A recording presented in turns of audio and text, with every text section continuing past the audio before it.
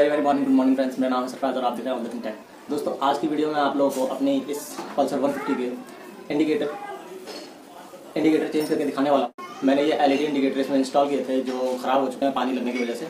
Okay तो आज मैं इनको अनइंस्टॉल करके वापस से वही बजाज के इंडिकेटर आज इसमें इंस्टॉल करने वाला हूँ। ओके तो चलिए मैं आपको दिखाता हूँ पूरा प्रोसेस करके कि किस तरह से हमें इंस्टॉल करना पड़ेगा और किस तरीके से हम इसको इंस्टॉल करेंगे। ओके तो चलिए शुरू करते हैं।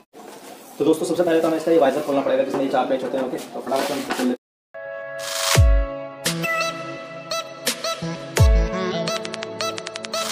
एक ये मेरा खराब हो गया, टूट गया है ओके इसके अंदर की जो रबड़ होती है, वो भी टूट गई थी। इसलिए और ये देखिए, ये इसलिए हम इसको ऊपर उठा लेंगे। ये देखिए, खुल है ओके चलिए, इसको हैं साइड में।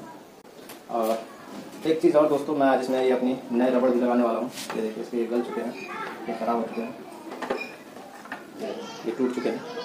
देख सकते हैं आप लोग। ओके? तो ये मैं नए ले आया हूँ और ये भी मैं आज इंस्टॉल करूँगा। चलिए हम इसके यहाँ के पेज खोल हैं। ये दोनों पेज हमने खोले दोस्तों। अब हम इधर के भी खोल लेते हैं। ये देखिए, ये इसके, इस तरफ़ भी दो पेज होते हैं यहाँ है और एक यहाँ पर। ओके? चलिए इसे भी खोल लेते हैं।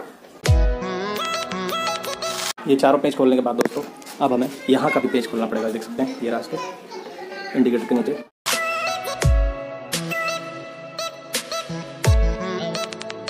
दोस्तों, इसके चार चारों पेज खुल चुके हैं। अब हम इसको ऊपर उठा लेते हैं।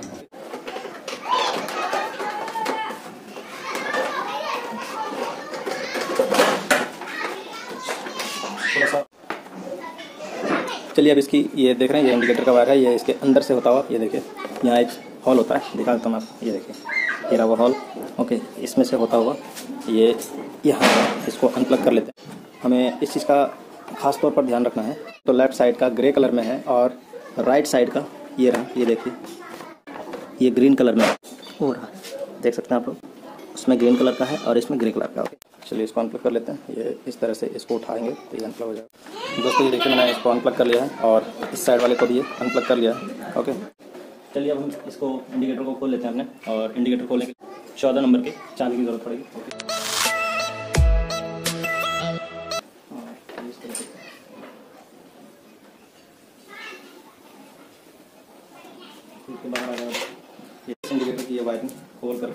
फिर हम उसको इंस्टॉल करेंगे ओके ये देखिए इसी तरह से क्लिप लगी हुई है इसमें और इसी तरीके से हम जोड़ लेंगे उसमें भी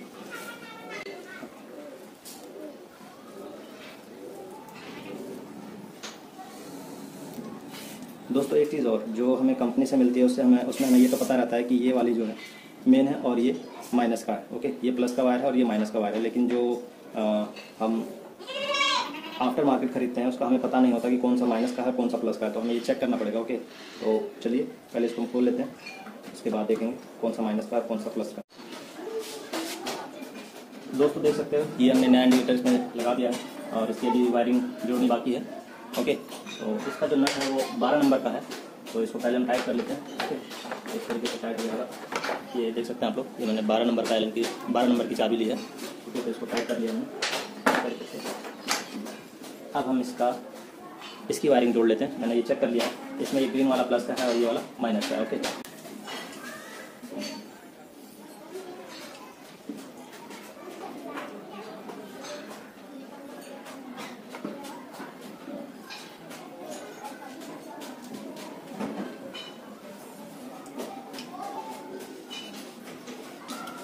ये देखिए ये मैंने ग्रीन से ग्रीन पे जोड़ दिया और ब्लैक ब्लैक जोड़ दिया।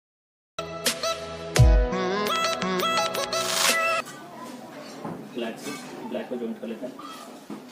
इस तरीके से। और ये।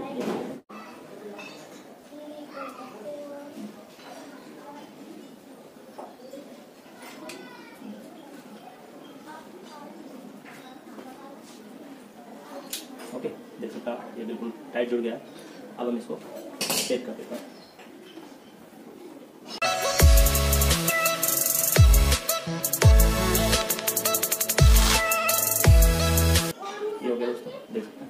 और इसको हम इस सुराख में, ये देख सकते हैं, यहाँ पे एक हॉल है। इस हॉल से अंदर ले जाते हैं। ताकि इस तरीके से छोड़ देते हैं और इसी तरीके से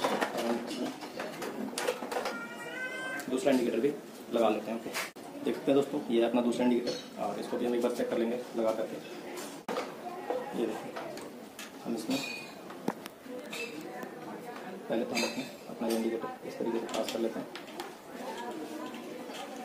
और इसमें दोस्तों देखिए, एक हुक भी दे रखा होता है, दिया होता है, ये वाला ओके ये इस सुराख में जाएगा, इस छोटे वाले में, ताकि ये इधर उधर हिले नहीं और बिल्कुल अपने सेंटर में।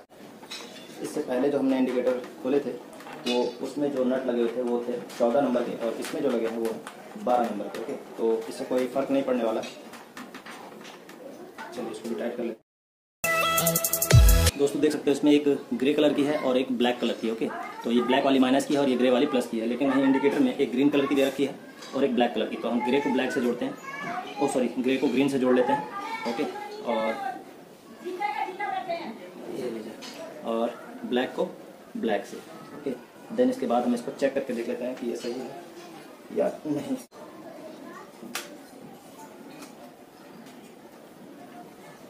तो दोस्तों देख सकते हैं ये भी ठीक है। ग्रीन और ग्रे को भी जोड़ लेता हूँ।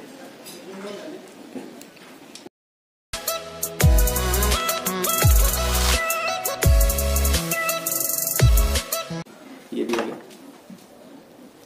ठीक उसी तरीके से। ये जो हॉल देख रहे हो आप, इस हॉल में से इस वायर को अंदर कर लेंगे। ये।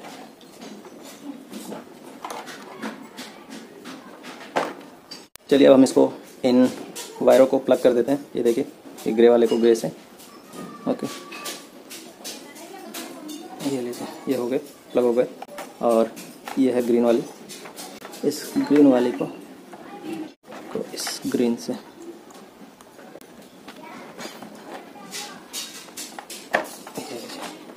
देख सकते हैं दोनों प्लग हो गए।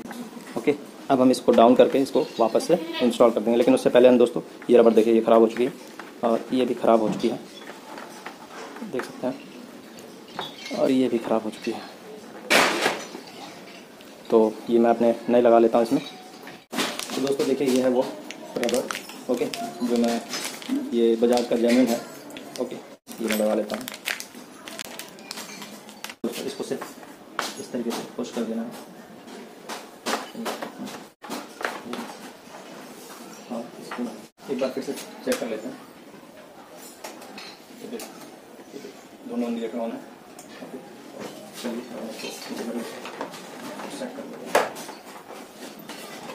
हमने दोस्तों सेट कर लिया इससे अपने टोच वगैरह लगाएँगे। देखिए दोस्तों, इसमें दो तो इस तरह के हैं, इसमें थोड़ी सी नोक टाइप है ओके और दो इस तरह के इसमें आधी चूड़ियाँ हैं ओके तो चलिए, लगा लेते हैं जो नोक वाले हैं दोस्तों, ये ऊपर के हैं ओके जो बिना नोक वाले हैं, वो साइड के हैं। ये वाइज़र लगा लेते हैं हम ये दोस्तों इसका वाइज़र ओके और ये यहाँ पे एक लॉक होता है, इस तरीके से सबका ठीक है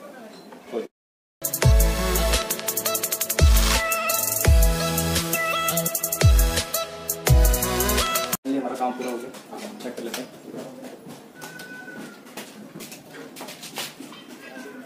तो आप लोगों को मेरा ये आज का वीडियो कैसा लगा मुझे कमेंट बॉक्स में कमेंट कमेंट करके बताएँ। और अगर आप लोगों को मेरा वीडियो अच्छा लगे तो प्लीज़ लाइक ज़रूर कर दें, साथ ही अपने दोस्तों को भी शेयर करें। और अगर आप मेरे चैनल पर नए हैं तो प्लीज़ मेरे चैनल को सब्सक्राइब कर बेल आइकन पर भी क्लिक कर दें, जिससे मेरी हर नई वीडियो की नोटिफिकेशन आपको मिल जाए और सबसे पहले आप मेरी वीडियो को देख पाएँ। तो मिलते हैं मेरी अगली वीडियो में कुछ नया लेकर के, कुछ नई सोच के साथ। तब तक के लिए गुड बाय टेक केयर सलाम